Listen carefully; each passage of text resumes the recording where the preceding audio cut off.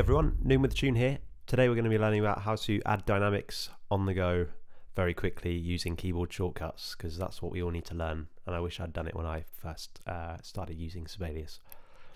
So let's jump right in. Uh, we're going to be adding a dynamic to this note in the first violins.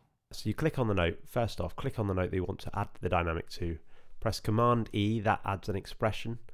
And then whatever dynamic you want to add, say, you know, say if it's forte, um, you know, mezzo piano, we're going to add forte here right now. So Command F and job done. It's it's right there and it spaces it exactly where it needs to be from the note. What about if we try it here?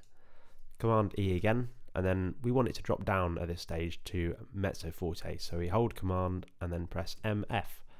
Job done. Click again. Um, so what if we wanted to add a hairpin from you know at bar 13, a decrescendo? So we want to go down. So it's Shift H, H for hairpin, easy, nice and easy to remember. If you wanted to do a crescendo from here, it would be H. So that's that's all you need to know for these. So so simple these shortcuts, and I wish I'd learned them much earlier because when I'm orchestrating or writing, it just saves hours of time rather than going into silly menu. You know, otherwise you'd have to come up here and start choosing from here every time. Yeah, it's just it's just so much hassle. Um, but what if you want to copy dynamics from one part into another? Say if you've already written written one part out and uh, you know you don't want to have to redo all the dynamics you can just copy it straight away. So let's highlight what we need. So click and press shift. We need to go shift alt D to the dynamics here.